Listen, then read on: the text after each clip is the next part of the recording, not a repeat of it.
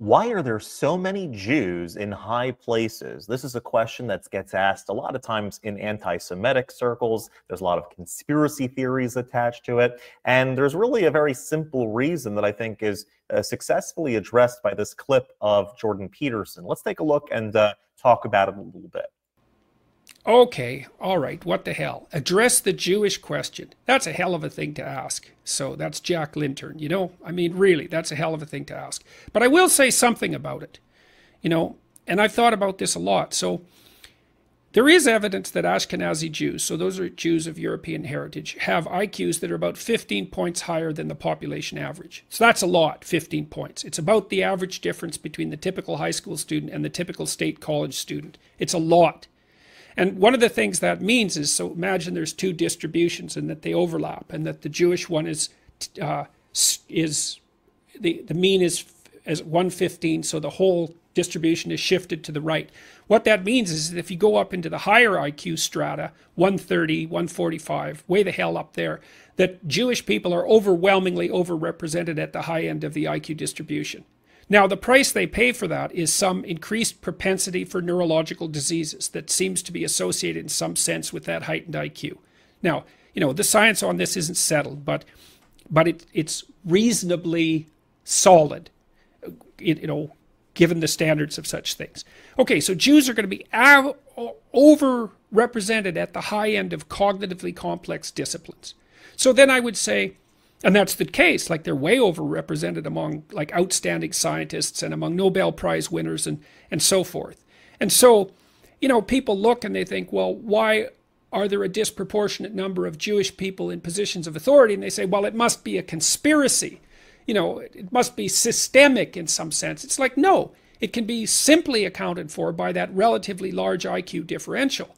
Now the next criticism would be well don't the Jews tend to lean left? Well, first you might say, well, you know, given what happened in, in Nazi Germany, to the degree that that was right wing, as we discussed earlier, that's the nationalism and ethnocentrism. It's hardly surprising that they might, you know, in this historical period of time, tend to move towards the left. But more importantly than that, IQ is associated with trait openness. And trait openness is a strong predictor, predictor of political liberalism. So and it's the strongest predictor of political liberalism. So, you know, it's very difficult. So that's what I have to say about that. It's like, and the other thing I would say is, you know, the fact that there's a population, a subpopulation of people who are much smarter than average. Not on average, right? On average, I've, you got to get that straight. On average is actually of great benefit to the rest of us because what do you want? Fewer geniuses?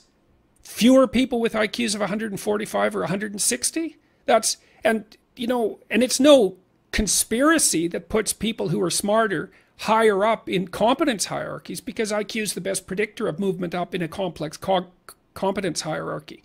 So there, I've addressed the Jewish question. It's like it's a confusion between ethnicity and and IQ as far as I'm concerned. So I'll probably get like painted six different shades of black for that answer, but it's I've thought about it a long time. It's the best that I can manage. It does seem to be the case that if you have a segment of the population that tests statistically higher on cognitive ability that has above average IQ, if there is a segment of the population like that, then in the jobs that are uh, the, the doctors, the lawyers, the government officials, uh, uh, media CEOs, those those uh, types of professions that are that have that require a higher cognitive ability, you're going to find more people that that are from this group of people. That's just the way that it's going to be. I think that's what Dr. Peterson is is getting at over here. I also think that there's maybe a spiritual element to it in the sense that that God that the the chosenness of the Jewish people again that that that concept of chosenness is oftentimes very um, misunderstood. The concept of chosenness, every human being is chosen by God. God breathed the breath of life into all, every human being. We're all created in the image of God. Uh, the, everyone is chosen for a unique individualized purpose that's why we were born that's why we're that's why we're here it's the job of the jewish nation the jewish nation was charged with was chosen for the for the task of informing the, the entirety of the world that they are chosen as individuals, right? The Jewish nation as a whole was chosen to teach the entire world as individuals that they are chosen for a mission by God, right? It's a, it's a very special task, task that we all love, but it has nothing to do with thinking of thinking that you're better than anybody. It should never be assumed or or taken as as such a thing. I also kind of find it interesting, uh, really fascinating actually. This whole conspiratorial aspect of of Jews in high places must mean that there's some sort of uh, conspiracy behind the curtain thing taking taking place where if if there is a nation that was charged with the mission of of giving wisdom to the world, the, the moral wisdom to the world through the Torah, and teaching the world that they are chosen for a purpose. And so it would make sense that they'd be giving the be given the intellectual aptitude in order to be able to do that successfully. It's not a surprise in my mind, spiritually speaking, that if they're spiritually charged with this mission, that they'd be given the corresponding intellectual aptitude in order to uh, to do it properly.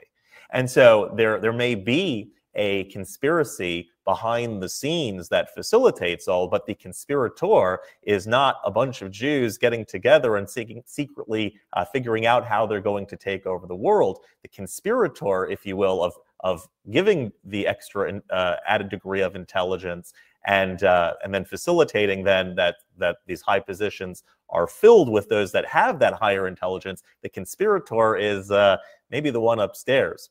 I always think that uh, neo Nazis and other anti Semites sometimes are perhaps most complimentary to the Jewish community in saying that you guys are so successful that the only excuse has to be that there's some sort of conspiracy right? It couldn't have been that you worked hard, couldn't be that you earned it on your own, couldn't be anything else. It has to be that there's some sort of secret meetings behind the scenes. That's what that's what gives you the success. I'm that's in in a, in a certain way that's that's that's kind of complimentary, roundabout, not intended, but complimentary nonetheless. Well, I guess uh, you know it's it's uh, it's worth taking it, I, I suppose. In any case, uh, we'd be happy to hear what you think about it. You can leave those uh, those ideas in the comments below. If you do enjoy this content in general, uh, I, I, I, invite you to consider hitting that subscribe button over there in the corner and would love to stay in touch with everyone. Have a wonderful day, and we'll talk to you soon.